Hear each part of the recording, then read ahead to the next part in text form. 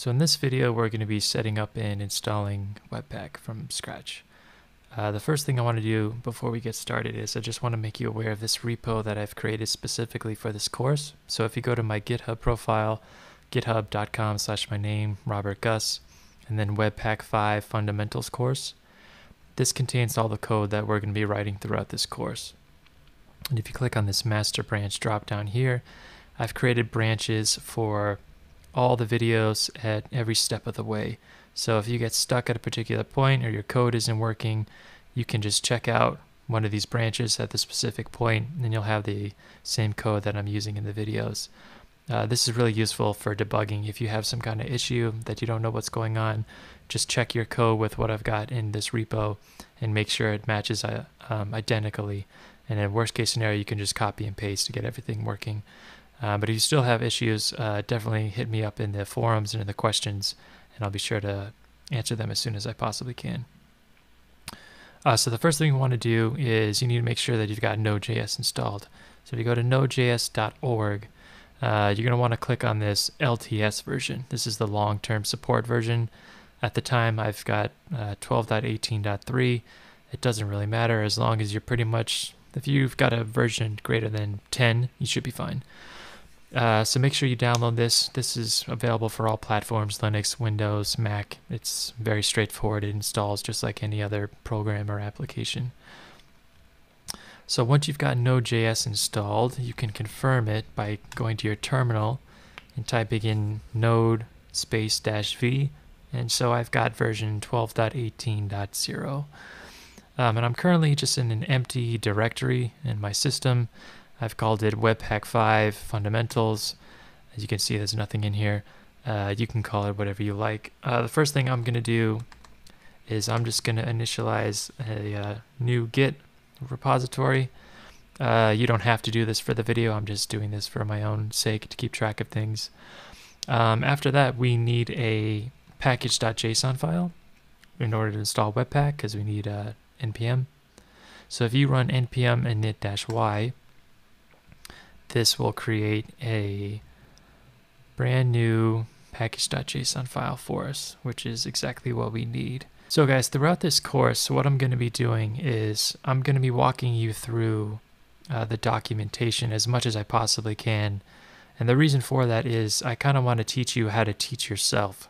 Um, what happens with a lot of these courses is you take a tutorial and it's not specific enough to your needs. And so you take the tutorial and you understand what the other person's doing and you're copying, pasting, and typing in their code. But then when it comes time to actually applying it for your own specific project and you have unique needs, it's tough to really know where to go and how to get those answers.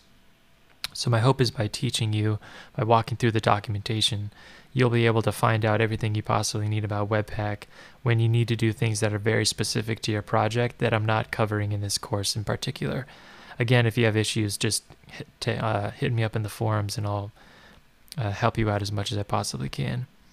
Uh, so the first thing we're going to do, you want to go to webpack.js.org.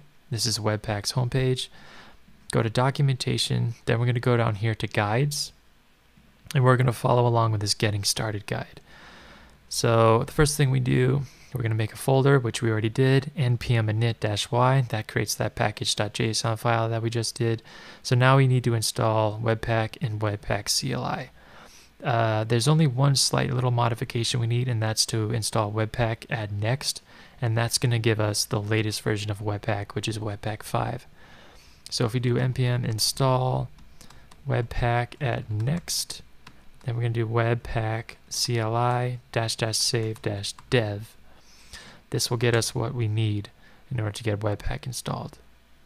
Okay, cool. So Webpack's installed and Webpack CLI is installed. Now let's go back to our text editor.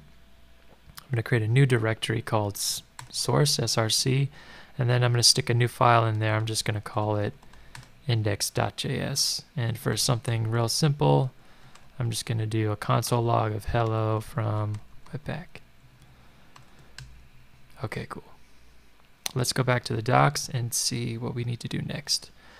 Uh, this is for a basic setup, and I want to show you the little more advanced setup because this is what you're going to see in the real world. And this is the things we're going to be covering in this course is how to use a Webpack configuration. So we first need to create this webpack.config.js.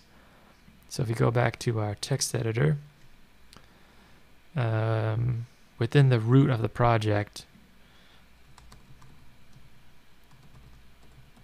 create this webpack.config.js file. Let's go back. And then within webpack.config, uh, we're going to put in this code. I'm going to copy and paste this right now, and then I'm going to walk you through what each, each line is doing. So the first thing we're doing is we're including this path module. Uh, this comes from Node itself. This is not anything related to Webpack in particular.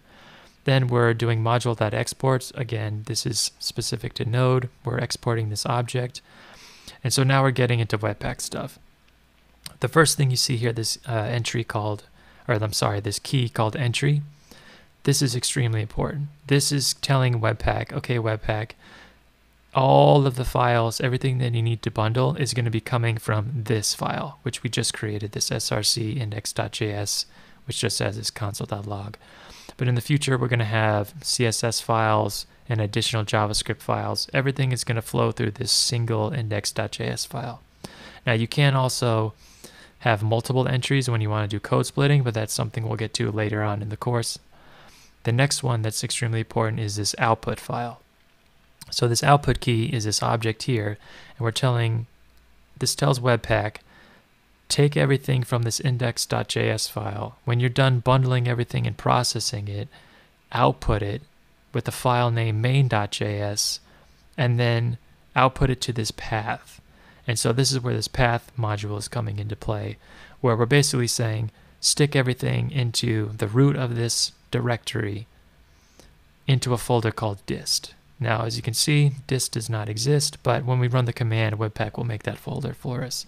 I also like to call uh, my bundles bundle.js. That just makes it really clear that this index.js is the source file, and this bundle.js is something that Webpack, um, Webpack outputted and created for us. So let's go back to our docs. So they have us running a command in the terminal here, but I'm just going to skip that because the much easier way is just to do an npm script. So we're just going to create this build webpack command. So if we go back to our text editor, back to the package.json, replace this test command with build, and then we're just going to webpack. So if we go back to our terminal, clear this, do npm run build,